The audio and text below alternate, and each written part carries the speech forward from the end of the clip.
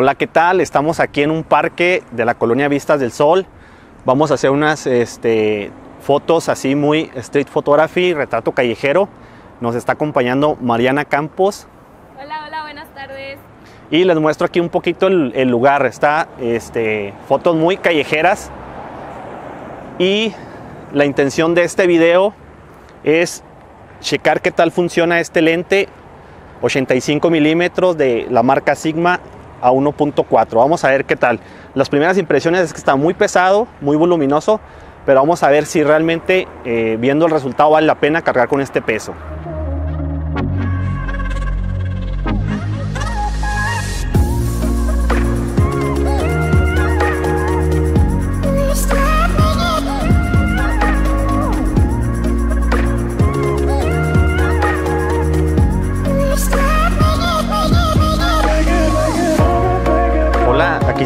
Tenemos más o menos como unos 15 minutos trabajando y la verdad es que se nota el peso, o sea, está, está difícil un poquito.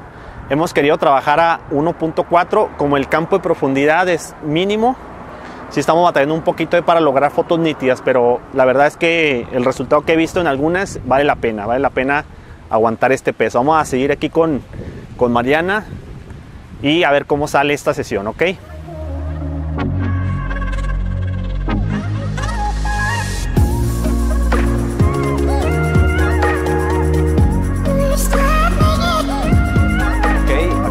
de cambiar de locación, estábamos en otro parque, pero estamos aquí en otro, realmente otro parque, pero cerquitas, aquí como a 200, 300 metros.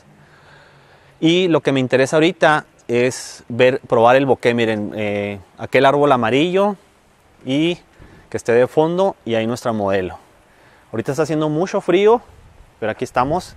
Y ahorita en la noche vamos a hacer, este, vamos a buscar luces de Navidad para lograr fotos con bokeh muy bonitos y ver cómo trabaja a 1.4, a ver cuál es su nitidez y cuál es su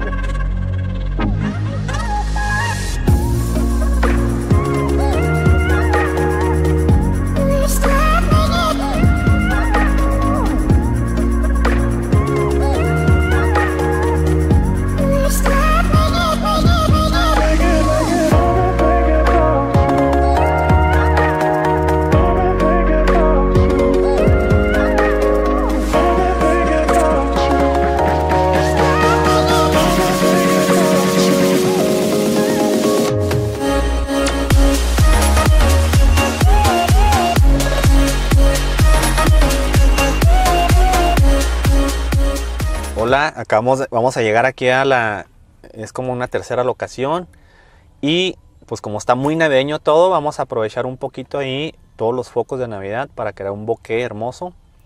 Y le pedí a Mariana pues que se, que se trajera algo muy, muy, muy invernal, entonces para que vaya ad hoc pues con lo que queremos lograr en las fotos. Vamos a seguir grabando aquí un poquito, a ver si nos da chance un poquito la luz del, la luz del sol. Pero esta es la última locación y cuando estén listos los- las fotos, pues las voy a publicar a ver qué les parece.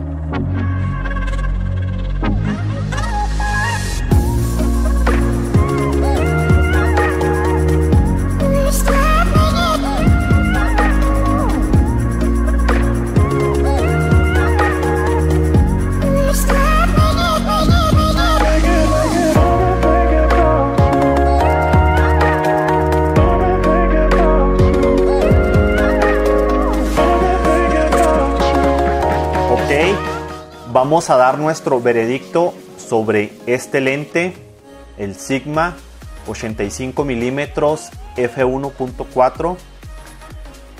¿Qué fue lo que me gustó y qué fue lo que no me gustó? Voy a empezar primero por lo que no me gustó.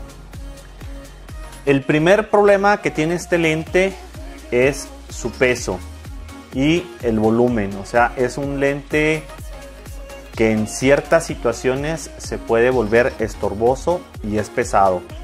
Si estás acostumbrado a lentes, eh, sobre todo por ejemplo en mi caso, que estaba acostumbrado a lentes como el 85 milímetros de Canon, la versión básica, el 1.8, y lo comparas con este Sigma, pues realmente notas la diferencia, es abismal, el peso, el tamaño, realmente es estorboso. Sobre todo también no lo aconsejo mucho para todos aquellos que quieren también eh, incursionar, digamos, en foto y video. Aunque en 85, estando ligero o no, pues la verdad dudo mucho que eh, se usen focales 85 este, con cámara en mano, Pues para usar una focal 85 para video, a fuerzas netas, este, un tripié. No, no, no lo he probado esa, esa distancia focal en, eh, nunca he probado un estabilizador, no sé cómo funciona un 85 con un estabilizador, pero la verdad no creo que sea el más la focal más adecuada para video.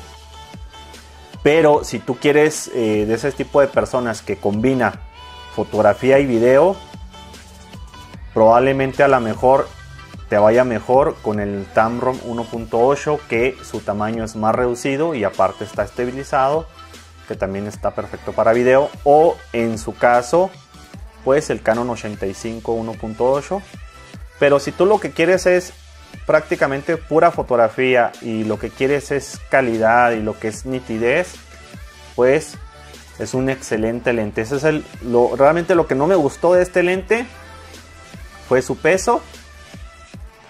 Y pues de que necesitas por el mismo peso muchas ocasiones estás deteniendo el lente te cansas un poquito y pues tienes que usar velocidades altas para evitar un poquito la trepidación porque si se siente donde muchas ocasiones estás tomando la foto se te cansa un poquito el brazo y pues está ahí eh, el pulso el tambaleo de la mano entonces también es un punto importante pero es prácticamente todo provocado por el peso eh, ¿por qué razón tan pesado?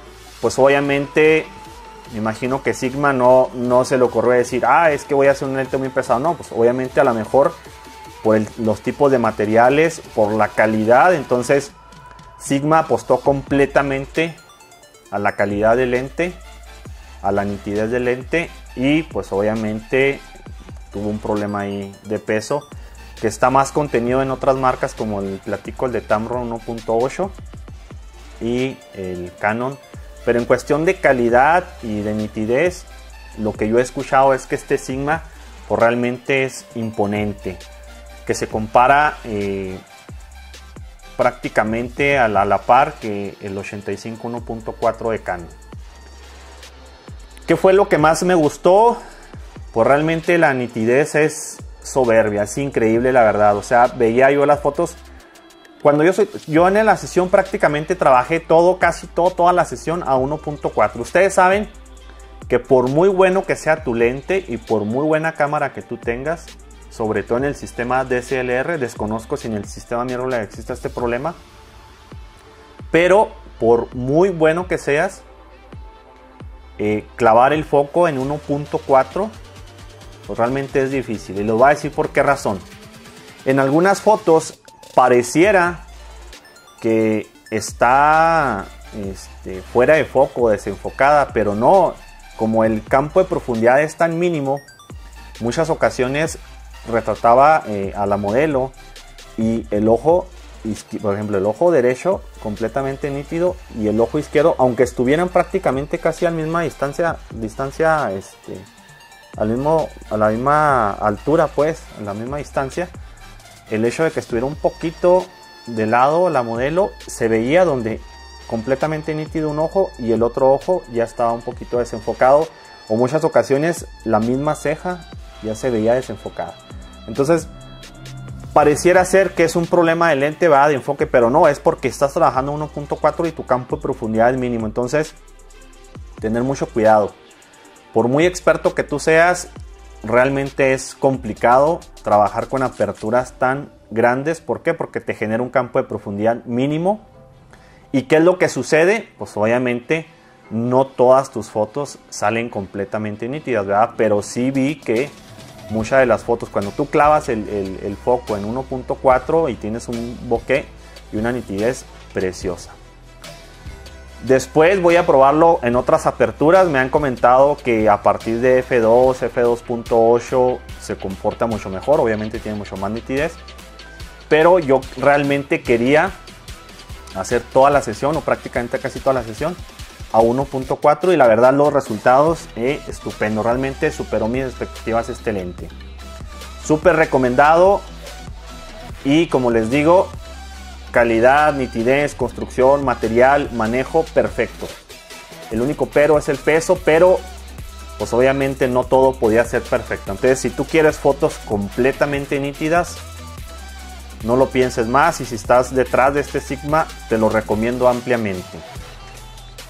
Pues eso es todo en este video muchachos. Les pido que me sigan en Instagram, arroba Jorge Sainz Foto Video. También se suscriban al canal de YouTube. Tengo poquitos seguidores, poquitos suscriptores. Pero ahí vamos creciendo, ahí va creciendo la comunidad. Hasta luego.